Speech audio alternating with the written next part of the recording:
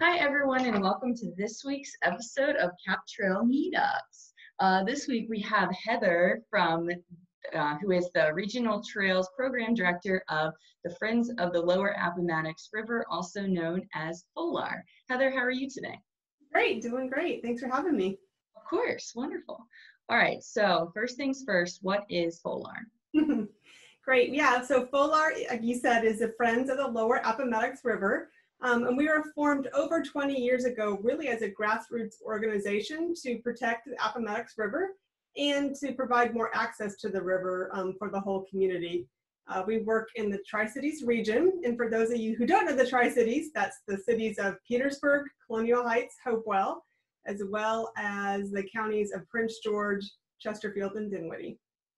So what are y'all doing right now? You're currently building the Appomattox River Trail, and it's being built into sections. Capital Trail is built into five sections, and we did not build them all in order. We built them piece by piece. So tell me a little bit about that.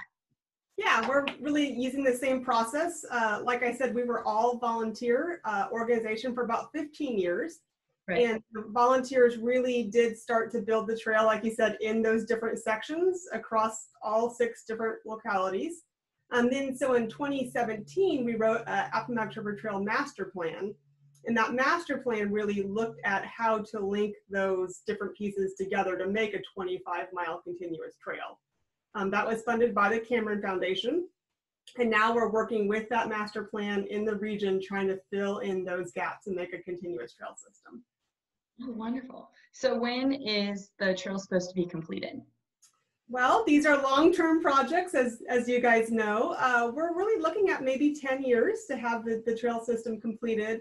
Uh, you know, like the Capital Trail, it's going to have some on-road kind of more urban portions, and it's also going to have some more rural feeling portions. It's going to kind of have that same feel going through different areas. Um, so the trail will look and feel a little different when it's done. Um, the other thing uh, when it's completed is we hope to have a connection to the Capital Trail. There's actually been a yes. yeah, there's been a regional study done on that already. Um, and that study recommends that when the Benjamin Harrison Bridge is replaced someday, it should have bicycle and pedestrian accommodations. It's very long term. Um, right. But in the meantime, we're looking at maybe doing a shuttle between the two um, trail systems. Right. Well, we are hoping that happens. Um, so a little bit about you. How did you get involved with FOLAR? Yeah, so I've been involved with FOLAR almost from the very beginning. Uh, I actually have been a forester and my major was forestry and recreation management. So this project has always been really interesting to me. Um, so I've always volunteered with FOLAR uh, partnered with FOLAR in my different roles and really fell in love with the region and with the project and really wanted just to get involved and do more. So excited to be able to do it every day, all day. Right, very fun. All right, so my last question is I usually ask what your favorite spot on the Capital Trail is, uh, but I want to ask you what your favorite spot on the Appomattox River Trail is. Yeah, good question. Uh, there's a lot of great spots on the river trail. I think uh, it just really depends on what you want to do and, and what kind of day I'm having. Uh, you know, the western end in Dinwiddie and, and Chesterfield is beautiful. It's very rural. There's lots of rocks and river, you know, rapids. That's a great place to be alone. Um, if I want to grab lunch or, you know, coffee before or after my walk, Petersburg and Colonial Heights are the best sections.